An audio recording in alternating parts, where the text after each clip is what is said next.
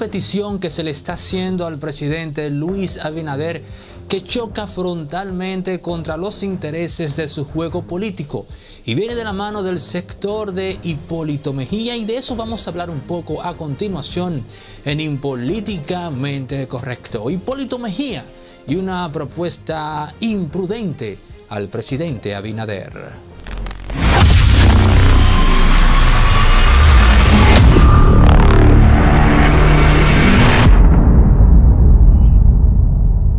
Gracias a toda la gente que está aportando en la plataforma Impolíticamente Correcto a través de www.patreon.com backslash impolíticamente. Ahí puedes entrar, de hecho está el link ahora mismo en tu pantalla para que hagas tu aporte cuando quieras y como quieras. Y con ello simplemente vamos a seguir ampliando esta plataforma más personal, más recurso humano, más y mejores equipos, no solo para permanecer en el tiempo, sino también para brindar un contenido de mayor calidad.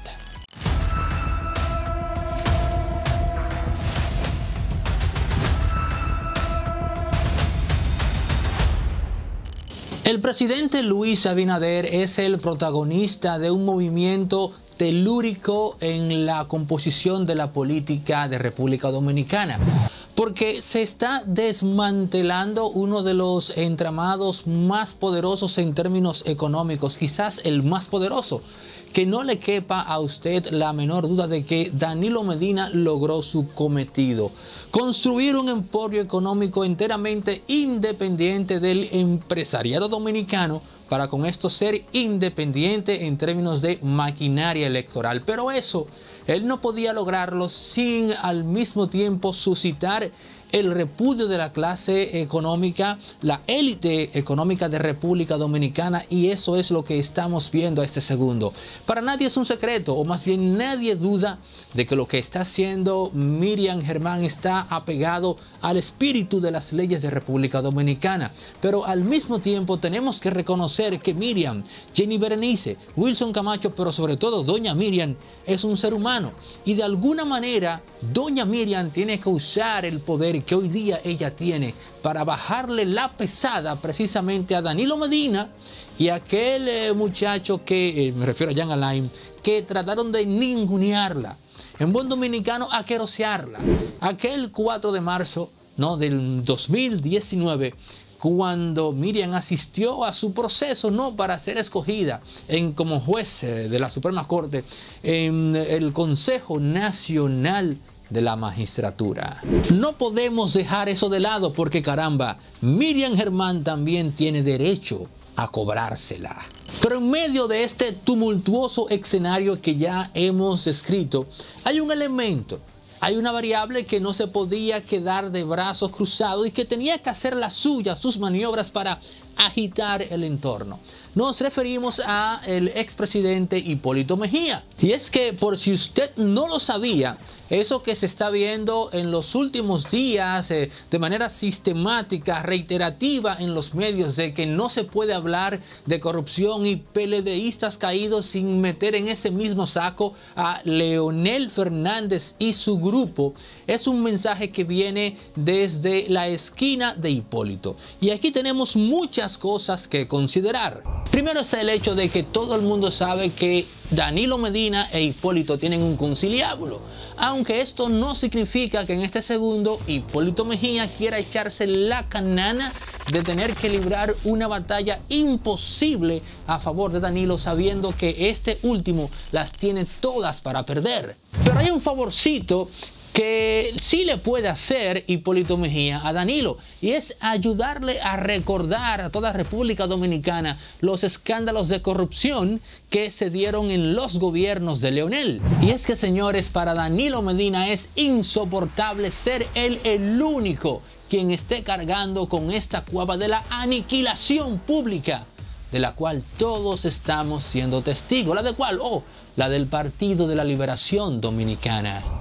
Pero Hipólito también tiene motivos personales para hacer que se desintegre a Leonel Fernández. El detalle es que en la ecuación política de Luis Abinader, Leonel Fernández tiene un peso o un saldo favorable hacia él. Y es ahí donde esa propuesta de Hipólito Mejía de meter en el saco también a Leonel Fernández se convierte en una propuesta, una exigencia indecente e imprudente de cara al presidente Luis Abinader.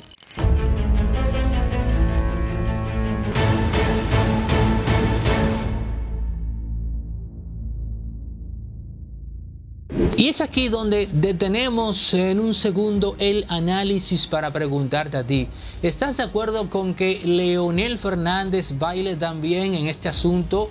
Ese yo de todo esto que se está viendo en donde socialmente hablando de repente República Dominicana descubre que el PLD en el poder era la génesis, la causa de todos sus males, es decir, le quita peso o veracidad a la lucha contra la corrupción el hecho de que no se esté mencionando el nombre de Leonel Fernández?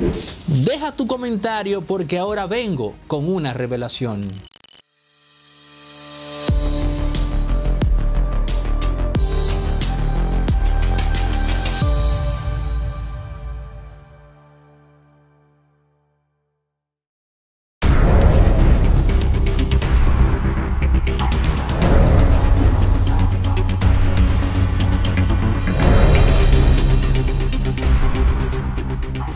Danilo Medina parece que no se ha percatado de que la razón por la cual él es un blanco más fácil no tiene solo que ver con el tema de que es el gobierno más reciente y es lo que está más fresco en la memoria. Y tiene que ver con la actitud que han asumido en el Danilato. En ese equipo de colaboradores más cercanos del expresidente Danilo Medina, nadie quiere coger ese tiro por el equipo.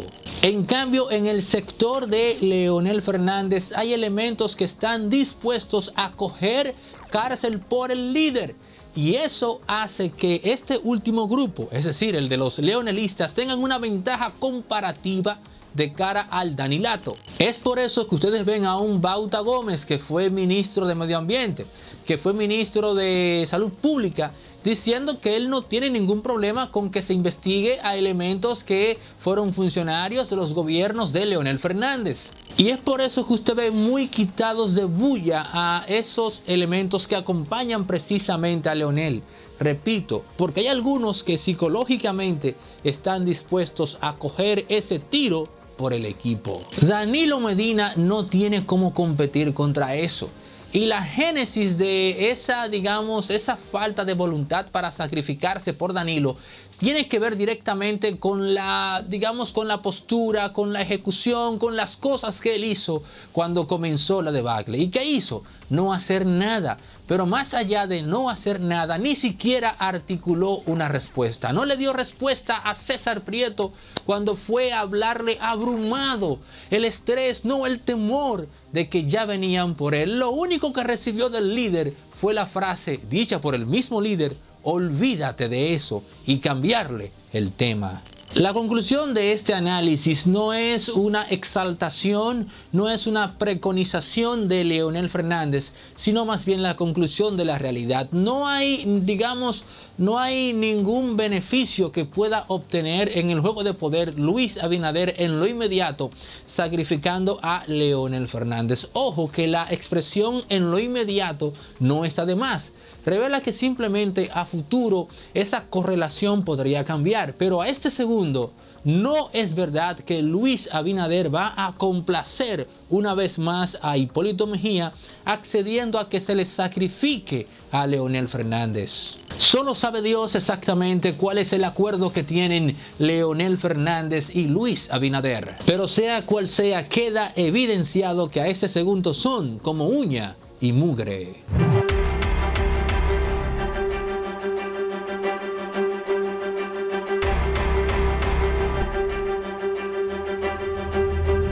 ¿Cómo Hipólito Mejía va a creer que Luis Abinader va a entrar en esa vuelta? Porque él tiene que saber que ese asunto con Leonel era una respuesta a la mancuerna Hipólito Danilo Medina. Era algo que venía por inercia, por así decir. Porque en qué punto Luis Abinader podría coincidir con Danilo. Digo, uno nunca sabe.